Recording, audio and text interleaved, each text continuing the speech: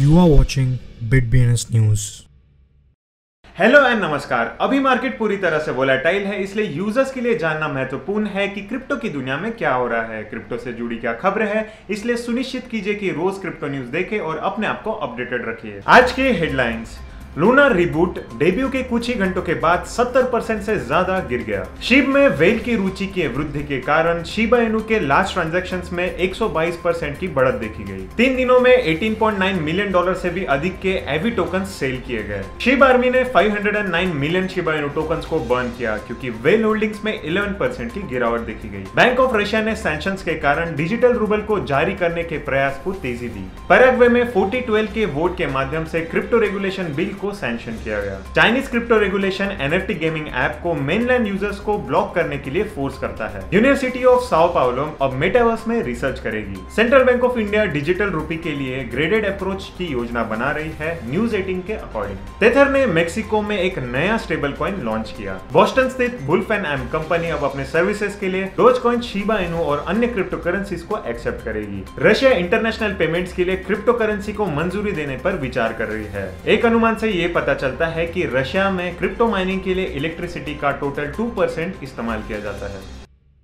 Terraform labs ने शनिवार की शुरुआत में टेरा ब्लॉकचेन का एक नया वर्जन टेरा 2.0 को लॉन्च किया, जिसमें न्यूली मिंटेड लूना टोकन्स थे। कॉइन मार्केट कैप द्वारा संचालित किए गए आंकड़ों के अनुसार लगभग 12 घंटे बाद लूना 2 ने अपने इनिशियल मूल्य का लगभग 73 परसेंट गिरा दिया, और अब वह अराउंड 5.18 डॉलर के ऊपर कारोबार कर रहा है, जिसकी वैल्यू पहले 19.54 डॉलर तक पहुँच गई थी। इंटू द ब्लॉक डेटा के अनुसार पिछले चौबीस घंटों में शिबा इनु वेल अधिक सक्रिय हो रही है, जिसमें बड़े लेन देन में वन परसेंट की वृद्धि हुई है। टॉप हंड्रेड शिबा इनु धारकों को वेलस्टैट के विश्लेषण से ये पता चलता है कि क्रिप्टो वेल के एक्टिव एड्रेसेस में 8.28 परसेंट की वृद्धि हुई है, जिसकी वजह से बड़े ट्रांजेक्शन में भी बढ़ोतरी देखी गई है। क्रैश के बाद से एवी 38.38 परसेंट की रिकवरी कर चुका है, लेकिन पिछले 72 घंटों में ट्रेंड रिवर्स हो गया है, क्योंकि अल्ट पॉइंट फिर से 13.42 परसेंट से गिर गया है, और इनसे एवी को एक महीने के भीतर दूसरी बार सौ डॉलर के निशान से नीचे ला दिया है। अभी एवी 94 डॉलर पर ट्रेड कर रहा है। एवी इस महीने में तीसरी बार अपने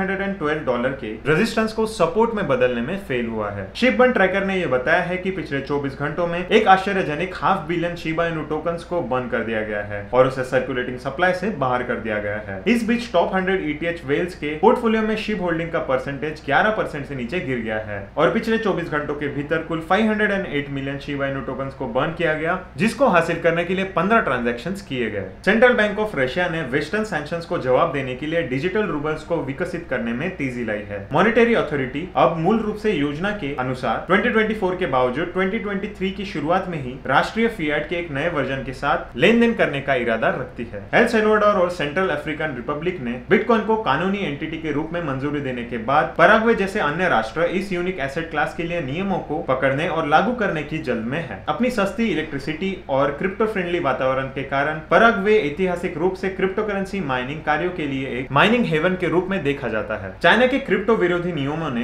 कथित तौर पर एनएफटी गेम स्टेपिन को 15 जुलाई से मेनलैंड यूज़र्स को एक्सक्लूड करने के लिए मजबूर कर दिया है। घोषणा के कुछ समय बाद ही स्टेपिन के इन गेम क्रिप्टो करेंसी में 38 परसेंट की गिरावट देखी गई। एक रिपोर्ट के अनुसार साओ पाउलो यूनिवर्सिटी नामक एक ब्राजीलियन यूनिवर्सिटी नियर फ्यूचर में मेटावर्स के अंदर रिसर्च करेगी। यूएसपी के ऑफिशियल वेबसाइट के अनुसार human behaviour three modelling psychology और ऑगमेंटेड रियलिटी और वर्चुअल रियलिटी डिवाइसेस की इफेक्टिवनेस पर यह रिसर्च की जाएगी।